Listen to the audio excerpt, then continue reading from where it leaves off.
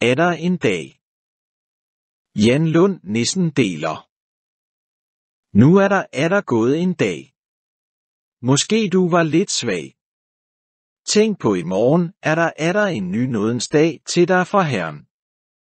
Ingen, uden Herren kender dagen før solen går nederst. Han så dig, da du kæmpede, i troens bønstred.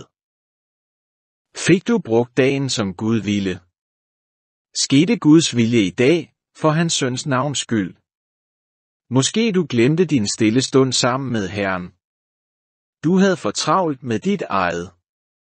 Du så på alt det du skulle nå, og det du skulle gøre.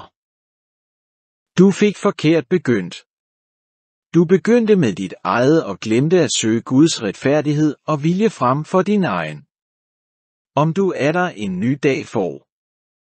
Så husk kun evigheden foran der står. Søg først Guds rige og hans søns retfærdighedsvilje, så vil Gud give dig alt andet i tilgift. Salm 9, 3, 3, 4, 0, 33 Lær mig, o Herre, dine vedtægters vej, og jeg vil holde den ind til afslutningen. 34. Giv mig forstand, så jeg kan holde din lov. Ja. Agte på den af hele mit hjerte. 35. Gør mig i stand til at vandre på din sti og overholde dine bud. Fordi jeg har kun min rette glæde i det. 36. Bøj mit hjerte til dine vidnesbyrd og ikke til grådighed. 37. Vend mine øjne bort fra at se på tomhed, og forny du mig på din vej. 38. Stadfæst dit ord for din tjener, som er hengivet til din æresfrygt. 39. Tag mine bebrejdelser bort, som jeg plages er frygter.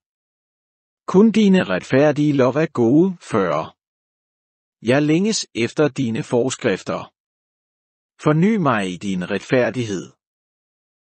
Afslut du din dag med denne bøn.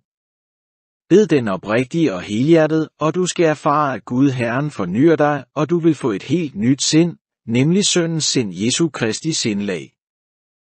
Og der er du ikke længere svag på trods af din dag. Amen.